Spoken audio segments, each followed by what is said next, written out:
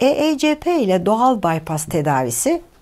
sırt üstü yatan hastanın belden aşağısına baldırları, uylukları ve kalçaları düzeyinde sargılar sarıp ayrıca elektrokardiyogram bağlayarak kalp atımlarının uygun zamanlarında bu sargıların basınçlı hava ile doldurulması, boşaltılması yoluyla vücudun belden aşağısına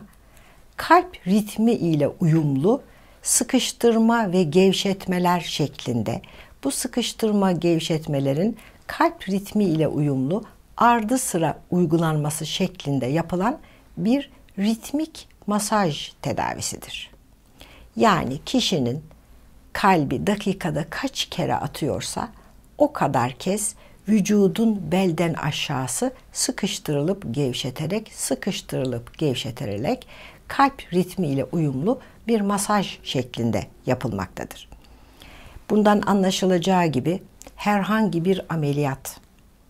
vücuttan kan akmasına yol açan herhangi bir işlem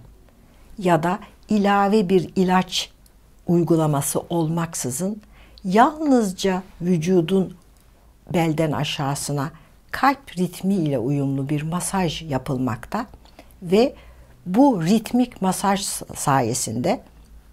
vücutta hasta organlarda doğal bir iyileşme sağlanmaktadır.